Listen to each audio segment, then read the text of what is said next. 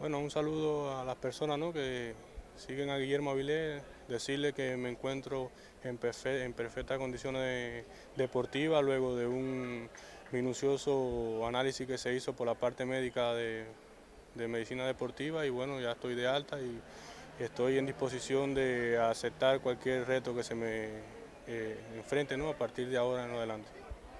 Háblame, conocimos que eh, próximamente te vas a incorporar a la serie provincial de béisbol. Eh, ¿Cómo te encuentras? ¿Cuáles son las expectativas que tienes? Bueno, sí, eh, luego de, o sea, del, análisis, del análisis que se hizo, decidieron que bueno que me podía incorporar a partir de mañana al campeonato provincial y eso es lo que voy a hacer para tratar de ayudar a mi municipio en todo lo que pueda.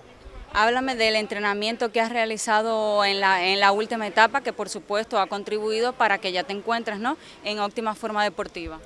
Bueno, sí, ha sido un entrenamiento bastante fuerte, ¿no? principalmente enfocado en la recuperación de la lesión que tuve en la rodilla, en la cual ya estoy en perfectas condiciones. También trabajé lo físico y el bateo y la defensa. Me encuentro bastante bien un mensaje para toda la afición cubana que por supuesto sigue a Guillermo Avilés. Bueno, nada, que esperen de Guillermo Avilés lo mejor de, mí y que lo voy a representar donde quiera que esté y, pondré en, en alto el nombre de Granma y el nombre de Cuba.